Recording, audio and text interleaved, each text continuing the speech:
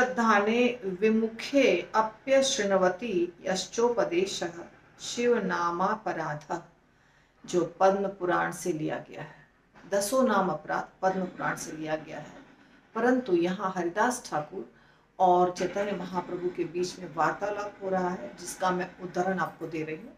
और वहाँ पर हरिदास ठाकुर बांग्ला में अपने तरीके से अपने लैंग्वेज में बता रहे हैं। सेम अर्थ है, जो पद्म पुराण का है वही, सिर्फ़ बांग्ला में। और यहाँ जो वीडियो बन रहा है, वो हिंदी में बन रहा है। ठीक है? तो इसका अर्थ है, हरि नाम की महिमा का गुणगान उन लोगों को बताना जिनको, जिनकी भगवान नाम में श्रद्धा नहीं है। ये एक अपराध है। तो हम तो प्रचार करते हैं तो हर व्यक्ति को प्रचार करने की इच्छा होती है और हर व्यक्ति को हम चाहते हैं वो भगवान का नाम जपे। नाम जपने तक ठीक है, हम उसको नाम दे सकते हैं।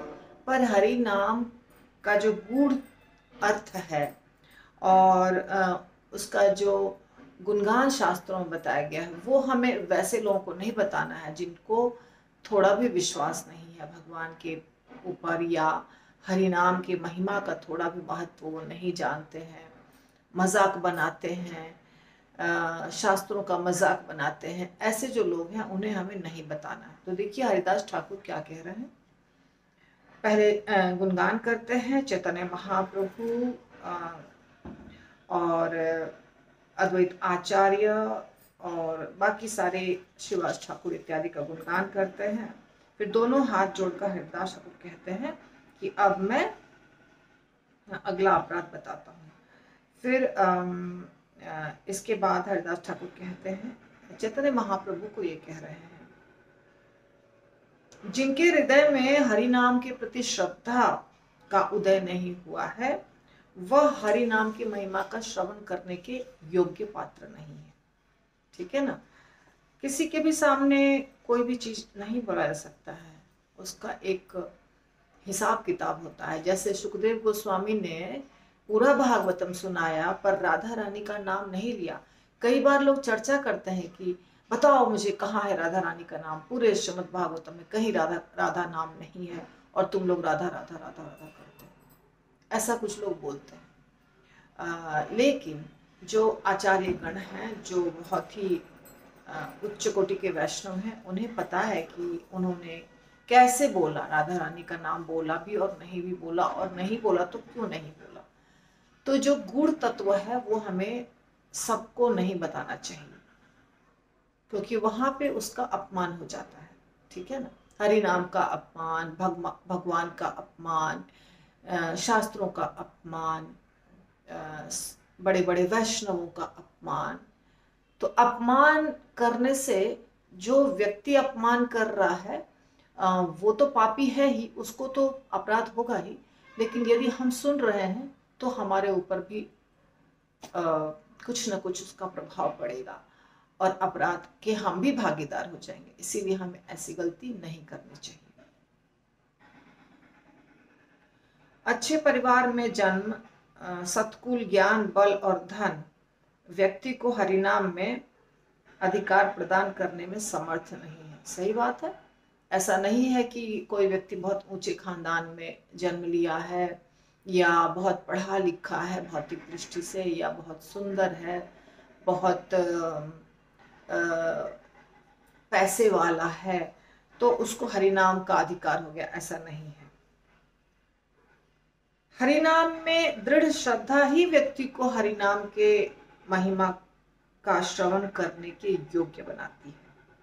और इसका वर्णन सारे शास्त्रों जब हमारे हमारे अंदर नाम के प्रति कुछ श्रद्धा, विश्वास और प्रेम उत्पन्न होगा पूर्व जन्म के संस्कारों के कारण या वर्तमान परिस्थिति जो हमारे चारों तरफ़ है, उनके कारण तो हम इसके लायक बनेंगे कि हम हरि नाम के बारे में सुन सकें, हरि नाम के महिमा के बारे में सुन सकें। साधु जन उस व्यक्ति को हरिदा, हरिनाम प्रदान नहीं करते हैं, जिसके हृदय में श्रद्धा का उदय नहीं हुआ हो। यही एक वैष्णव का उचित आचरण है। ठीक है? श्रद्धाहीन व्यक्ति को यदि हरि नाम की प्राप्ति होती है तो उसका वो क्या करेगा? अनादर करेगा। ये सारे शास्त्र कहते हैं। सुअर को रत्न देने से वह उसका चूर्ण करके मिट्टी में डालेगा और बंदर को कपड़े पहनाने से वह उसे फाड़ देगा। सच बात है। आ, जो जिसके योग्य होता है उसको वो चीज़ देनी चाहिए। हम अगर सोचे बंदर अरे बंदर नंगे वदन घूम रहा है तो उसको कपड़े पहना दे। पर बंदर को क्या पता? एक एक श्लोक भी एक एक कहावत भी है बंदर क्या जाने अदरक का स्वाद। तो एक लीला में हाँ हनुमान जी हनुमान जी के बारे में शायद लीला थी। वो समूचा, मोती, उनको मोती गिफ्ट में मिला था। वो तो अलग, उसका महत्व अलग है, उस लीला का महत्व अलग है। वो ऐसे ही बता रही हूँ तो हनुमान जी को मोती मोती का हार मिला था तो हनुमान जी सारे मोती को तोड़ तोड़ के देख रहे थे, इसमें भगवान किधर है।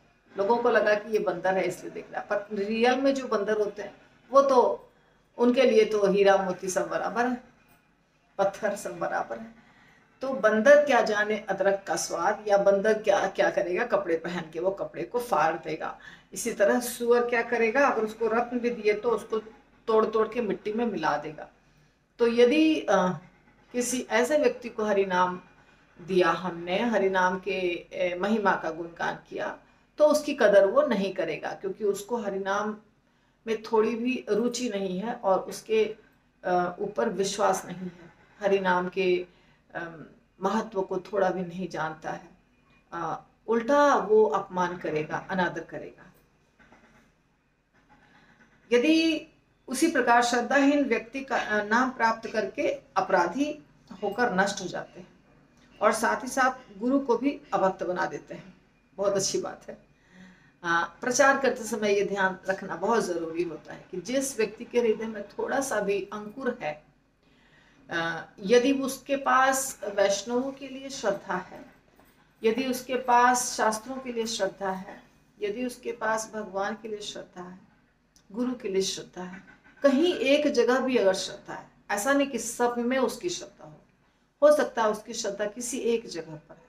गुरु के प्रति है, भगवान के प्रति है हरि नाम के प्रति है, शास्त्र के प्रति है, धर्म के प्रति है, कहीं अगर उसकी श्रद्धा है तो उस श्रद्धा को पकड़ के दूसरे श्रद्धा को बढ़ाया जा सकता है। लेकिन यदि उसके पास कहीं भी श्रद्धा नहीं है तो फिर उसको प्रीच करना ही बेकार है। उससे क्या होगा? जो प्रीचर हैं, जो प्रचारक हैं, उनके ऊपर भी असर पड़ेगा। हो सकता है उनकी भक्ति भी समाप्त हो जाए। हो सकता है उन्हें अपराध अपराध लगे उस व्यक्ति का एसोसिएशन करने से या उसके मुख से। गलत चीज़ें सुनने से। इसीलिए प्रचारक को ये ध्यान देना अति आवश्यक है कि हम जिसको प्रचार कर रहे हैं, उसको कितना कितना प्रचार करें, कितना डोज दें। प्रसाद हम सबको दे सकते हैं, या मंदिर भी हम सबको ला सकते हैं, पर गुड़ तत्व हम सबको नहीं बता सकते हैं। यदि कोई प्रचारक सुन रहे होंगे तो प्लीज़ इस पर ध्यान दीजिएगा। यदि श्रद्धाहीन व्यक्ति शठता पूर्वक वैष्णव के समीप जाकर उनसे हरि नाम की याचना करता है। तब साधु पुरुष उसके छल युक्त वाक्य को समझ जाते हैं। उसे वे कदापि हरि नाम प्रदान नहीं करते। यहाँ पर हरि नाम जो बताया जा रहा है, वो है दीक्षा। गुरु जब दीक्षा देते हैं किसी को तो उसके बारे में बताया जा रहा है। और इसके पहले जो मैं बता रही थी आप लोगों को वो था कि हरि नाम का जो बहुत डीप अर्थ है, उसके, उसका जो गूढ़ और गुह्य तत्व है, वो नहीं बताना चाहिए किसी भी व्यक्ति को। और यहाँ जो बताया जा रहा है, वो हरिनाम दीक्षा की बात हो रही है कि यदि कोई व्यक्ति छल प्रपंच करने वाला, ठगने वाला किसी गुरु के पास जाता है और कहता है कि मुझे दीक्षा दे दीजिए, गुरु समझ जाते हैं कि ये व्यक्ति ऊपर ऊपर से नाटक कर रहा है भक्ति का, वास्तव में ये भक्त थोड़ा भी नहीं है और उसको दीक्षा नहीं देते साधुओं से कहते हैं, अरे भाई, कपटता और प्रतिष्ठा की आशा को त्याग करके हरि नाम में श्रद्धा करो। नाम के प्रति श्रद्धा होने से हरि नाम सरलता से प्राप्त हो जाता है। उसी हरि नाम के प्रभाव से व्यक्ति घोर संसार से पार होता है। तो श्रद्धा बहुत महत्वपूर्ण आदव श्रद्धा से शुरू होती है, भक्ति जो शुरू होती है, कहाँ से? आदव श्रद्धा। श्रद्धा होना अति आवश्यक। श्रद्धा अगर नहीं है तो सारा ज्ञान भी अगर प्राप्त कर लिए तो फ़ायदा नहीं होगा। लेकिन यदि श्रद्धा है और उस व्यक्ति को संस्कृत नहीं आता है, उसको इंग्लिश नहीं आती है, उसको कोई भी डिग्री नहीं है उसके पास, स्कूल, कॉलेज भी नहीं गया है परंतु उसे श्रद्धा है भगवान में। उसे गुरु के प्रति श्रद्धा है और विश्वास है तो वो भगवत धाम जा सकता है। सबसे महत्वपूर्ण है श्रद्धा श्रद्धा और विश्वास। श्रद्धा, विश्वास होने के बाद बाकी चीज़ें अपने आप उत्पन्न होती हैं। अगर श्रद्धा और विश्वास नहीं है तो मुश्किल है कुछ भी करना। वो बहुत सारा तर्क वितर्क करके अंत में फिर से ज़ीरो पर आ जाएगा। इसलिए ऐसे व्यक्ति के साथ ज़्यादा उलझना नहीं है। हे बंधु, जितने दिन पवित्र भगवान नाम में आपकी श्रद्धा नहीं है, तब तक नाम ग्रहण करने के लिए तुम योग्य नहीं हो। ये दीक्षा की बात हो रही है। प्रतिष्ठा, प्राप्ति की इच्छा को त्याग करे एवं दीनहीन भावना को हृदय में धारण साधु और शास्त्रों से हरि नाम का श्रवण करो। हरि नाम का श्रवण, साधु से, शास्त्र से। अभी शास्त्र से कैसे हरि नाम का श्रवण करते हैं? या साधु से कैसे हरि नाम का श्रवण करते हैं? ये जो अभी हम कथा कर रहे हैं, भागवतम, चेतन चरतामृत, या कोई भी ऐसी लीला भगवान की, या तत्व ज्ञान ये सब हरिनाम हरिनाम है। ये ऐसा नहीं समझ के कि हरिनाम सिर्फ़ हरे कृष्ण महामंत्र होता है। इसके साथ साथ ओम नमो भगवते वासुदेवाय सीताराम, राधे कृष्ण, जो भी भगवान विष्णु के नाम का मंत्र है, वो सबके ऊपर ये लागू होता है। पहली बात। दूसरी बात, जब हम भागवतम की चर्चा करते हैं तो वो भी क्या है? यही हरि नाम की चर्चा ही है। भागवतम की चर्चा करना। तो यहाँ बताया जा रहा है कि साधु और शास्त्र से हरि नाम की महिमा का श्रवण करना चाहिए। साधु और शास्त्र हरि नाम की महिमा के बारे में हमेशा बताते हैं। यदि हम भगवान की कोई लीला बता रहे हैं कोई चर्चा कर रहे हैं भगवान की ने ने गोवर्धन उठाया भगवान ने आ, किसी असुर का वध किया या भगवान आ, कैसे अर्जुन का रथ चलाया ऐसी कोई बात हम अगर कर रहे हैं तो वो क्या है? हरिनाम। हरिनाम का श्रवण ही है। ऐसा नहीं है कि वो हरिनाम का श्रवण नहीं हरि नाम, भगवान के नाम में, रूप में, गुण में, लीला में किसी भी चीज़ में कोई अंतर नहीं है। जो अच्छा लगता है। यदि किसी को कोई खास एक पर्टिकुलर लीला बहुत पसंद है, जैसे गोवर्धन पर्वत उठाना पसंद है, वो लीला, या तो दामोदर लीला पसंद है तो उस पर्टिकुलर लीला को पचास बार सुन सकता है, उसमें कोई दिक्कत नहीं। दूसरी भी लीला, पर वो लीला जो बहुत पसंद है, उसको बहुत बार सुन सकता है। जब तुम्हारी भगवान नाम में श्रद्धा होगी, तब एक प्रामाणिक गुरु भगवान नाम प्रदान करेंगे, जो कि महाधन है। सही बात है। श्रद्धाहीन व्यक्ति को अर्थ लाभ की इच्छा से गुरु यदि नाम प्रदान करता है तो वह नाम अपराधी होकर नरक जाता है। हाँ गुरु भी कई बार लोभी होते हैं। धन के लोभी। वो असली गुरु नहीं है, पाखंडी है। समझ जाइए। तो कभी कभी गुरु बहुत अमीर व्यक्ति को अपना शिष्य बनाते हैं। उस अमीर व्यक्ति में गुण नहीं है शिष्य बनने के। लेकिन उसको शिष्य बनाएँगे तो हमें बहुत लाभ होगा धन का। ये सोचकर गुरु उसको शिष्य बनाते हैं। पर ये गलत है। इससे क्या बताया जा रहा है यहाँ? गुरु भी नरक में जाएँगे। शिष्य भी और गुरु भी दोनों एक साथ जाएँगे। यदि प्रमादवश अनाधिकारी को नाम का उपदेश प्रदान करता है, तब गुरु को भयभीत होना चाहिए, ठीक है? उस गुरु को वैष्णव समाज में इस बात का विज्ञापन करना चाहिए और उस दुष्ट, असत शिष्य का तुरंत त्याग कर देना चाहिए। यदि गलती से ऐसा हो जाता है, जो व्यक्ति दीक्षा का अधिकारी नहीं है, उसे दीक्षा मिल जाती है तो गुरु को उसका त्याग करना चाहिए और बता देना चाहिए कि ये व्यक्ति सही नहीं है। सबको बता देना चाहिए ताकि हर व्यक्ति उससे सावधान हो जाए। और यदि ऐसा गुरु नहीं करते हैं तो गुरु भी अपराधी हैं और उनका भी पतन होगा। माया में वो भी फंसेंगे। अतएव हे प्रभु, आपने भी जिन्हें हरि नाम का प्रचार करने की आज्ञा प्रदान की, उन्हें भी यही उपदेश दिया। श्रद्धावान व्यक्ति को आप हरि नाम का उपदेश प्रदान करो और इस हरि नाम की अतुलनीय महिमा के द्वारा संपूर्ण देश का भार को भर दो। श्रद्धावान जन कौर नाम उपदेश, नाम महिमा महिमाय पूर्ण कर कर सर्वदेश। तो नाम का प्रचार तो करना है, पर किसको? श्रद्धावान को। श्रद्धावान जाना है, श्रद्धावान जाना है। है ना? ये वाला हमारा एक गीत है। नदिया गोत्रु में नित्यानंद महाजन पातियाचे नाम हट्ट जीवेर कारण। श्रद्धा नाम, श्रद्धावान जन है, श्रद्धावान जन है। नित्यानंद प्रभु और हरिदास ठाकुर दोनों मिलके हरि नाम का प्रचार करने जाते थे और उनको ऐसा करने के लिए चैतन्य महाप्रभु ने कहा था, आज्ञा दिया था। तो वो पुकारते थे लोगों को, नाम हट लगा के, नाम का बाज़ार लगा के पुकारते थे लोगों को। जो श्रद्धावान है सब आ जाओ और क्या करो, मेरे से नाम ले लो। कृष्ण माता, कृष्ण पिता, कृष्ण प्राण धन है, ऐसा कुछ है। तो श्रद्धावान जन है, श्रद्धावान जन है। जैसे बाकी चीज़ों को खरीदने के लिए धन की आवश्यकता होती है। पैसा पैसा, रुपया, उसी तरह हरि नाम को खरीदने के लिए श्रद्धा की आवश्यकता होती है। इसीलिए हरिदास ठाकुर और नित्यानंद प्रभु दोनों मिलकर प्रचार करते थे और श्रद्धावान को पुकारते थे कि तुम लोग आकर के गुरु आज्ञा कोरी। ए भिक्षा। लहो कृष्ण, बोलो कृष्ण, करो कृष्ण शिक्षा।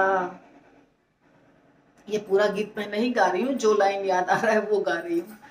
तो कृष्ण के कृष्ण का नाम लो, कृष्ण के बारे में सुनो, कृष्ण की शिक्षा प्राप्त करो, और श्रद्धावान व्यक्ति आओ और नाम ले लो। ये ये प्रचार कर रहे थे। तो श्रद्धा का होना अति आवश्यक है